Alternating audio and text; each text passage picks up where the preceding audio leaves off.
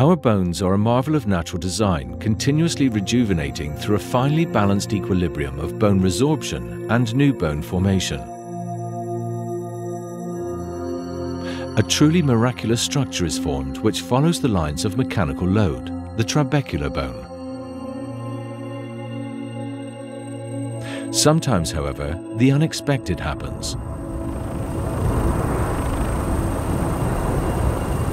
A drill intrudes and destroys the naturally sculpted bone. Blood vessels are torn and a major defect is created, quickly filling with blood. The titanium implant is inserted where the tooth was previously lost. At first, the only force holding the implant in place is mechanical friction. This is called primary implant stability. Osseointegration, or secondary implant stability, requires a highly complex sequence of additional biodynamic processes. This is facilitated by finely tuned communication between the main actors of wound healing, the cells.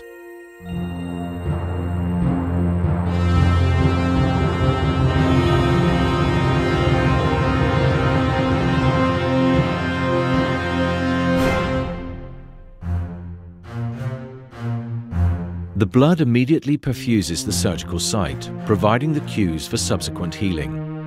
Within seconds or minutes, ions and serum proteins such as albumin, fibrinogen and fibronectin begin adhering to the titanium surface. Next, the bleeding is stopped by blood platelets, also known as thrombocytes, when they are exposed to collagen and other proteins from the traumatized tissue and implant surface, they aggregate and close the ruptured blood vessel. Platelets release various messenger substances for cell-to-cell -cell communication, such as thromboxane, which promotes platelet aggregation, or PDGF, platelet-derived growth factor, which stimulates the cell division of fibroblasts. Fibrin monomers spontaneously cross-link forming a fibrin network. The blood clot permeates the wound space forming a provisional matrix. It also adheres to the implant surface. This blood clot has tremendous importance as a provisional matrix for subsequent bone healing processes on the implant surface.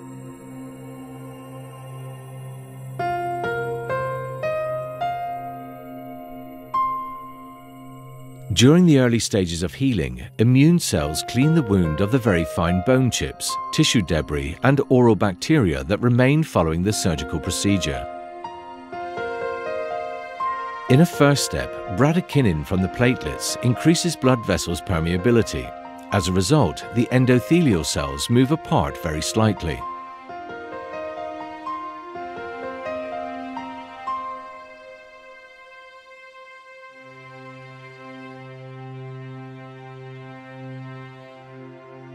On the inside of the vascular walls, endothelial cells promote the attachment of polymorphonuclear leukocytes from the bloodstream.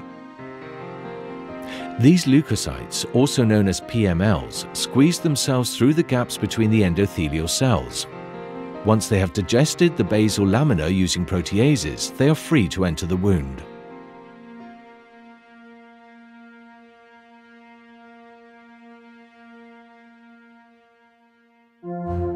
PMLs chemotactically navigate toward the wound along a molecular concentration gradient. These molecules include bacterial proteins, fibrinopeptides and pro-inflammatory interleukins. Upon arrival, they kill bacteria through the release of reactive oxygen species. PMLs also release highly digestive enzymes such as collagenase and elastase. The wound then proceeds through an uneventful healing process, or a toxic wound environment develops with elevated bacterial counts and toxic byproducts, potentially leading to wound breakdown and implant loss. PMLs can call for auxiliary support, for example through the release of monocyte chemotactic protein or MCP1. Macrophages respond and are the next actors to arrive on the scene. They too eliminate bacteria by phagocytosis.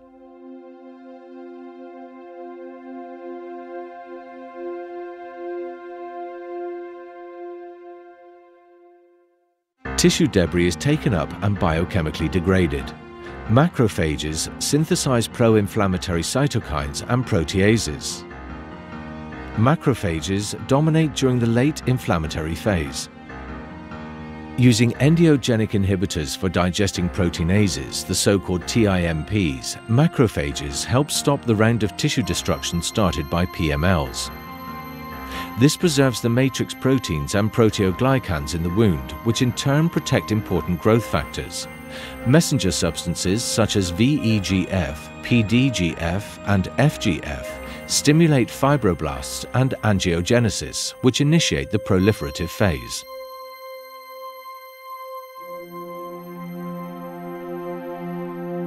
Fibroblasts appear on the third or fourth day. They migrate into the wound using amoeboid movements. They synthesize the protective and stabilizing components of the extracellular matrix such as collagen, elastin and proteoglycans. The low oxygen concentration in the tissue affects both macrophages and endothelial cells, stimulating them to create the intracellular transcription factor hypoxia inducible factor or HIF. Subsequently formed VEGF in turn influences perivascular cells. Perivascular cells are mesenchymal stem cells found on blood vessels.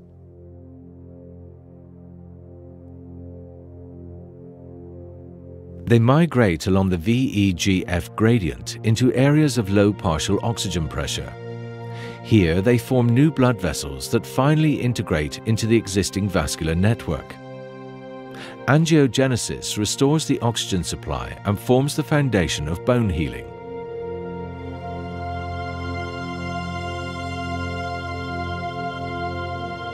Starting around day 7, activated osteoclasts attach themselves to the fracture edges of the residual bone, resorbing it and creating space for bone healing.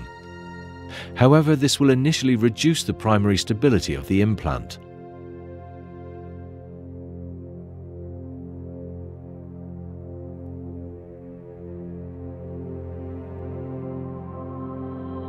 Here, the osteoclasts dissolve the bone using hydrochloric acid and proteases, releasing BMP, TGF-beta and PDGF from the bone matrix, which in turn initiate the formation of new bone. Perivascular cells not only create new blood vessels, they also migrate toward existing trabeculae and to the implant surface, where they differentiate into new osteoblasts under the influence of BMPs from the dissolved bone. The adsorbed proteins such as fibronectin have a crucial influence on the attachment of bone progenitor cells to the implant surface.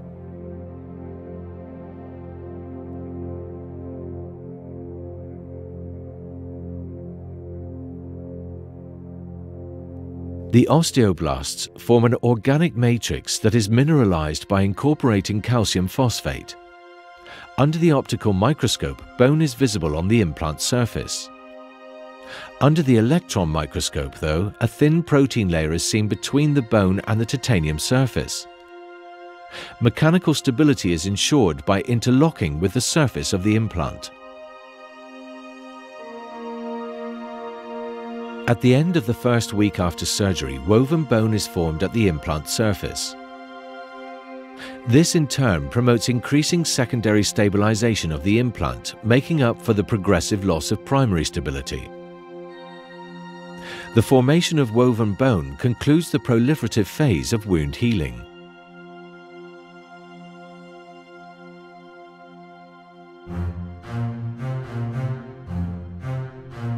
Orderly and coordinated bone remodeling restores the stability of the site. Load adaptation is of pivotal importance in this context. Initially, woven bone will have grown in the valleys of the implant surface and parallel to it. After remodeling, most bone will be structured perpendicularly to the peaks of the implant threads at right angles to the implant surface. The architecture and organization of this bone becomes trabecular. The structure is thought to be directly responsive to forces imposed through the implant to the interfacial tissues. This is made possible by the synergy of osteoblasts and osteoclasts. The osteoclasts, activated by the osteoblast messenger RANKL, resorb the woven bone. The osteoblasts then lay down highly organized lamellar bone. The work of both cells is mainly coordinated by the osteocyte and its own messengers such as sclerostin. Lamellar bone structures are formed. Similar to the arches and vaults in a Gothic cathedral, they absorb the stresses of occlusal load. We are back at an efficient trabecular bone meshwork, perfectly adapted to the new situation. Osseointegration, a highly complex biodynamic process of cell-to-cell -cell communication, is completed.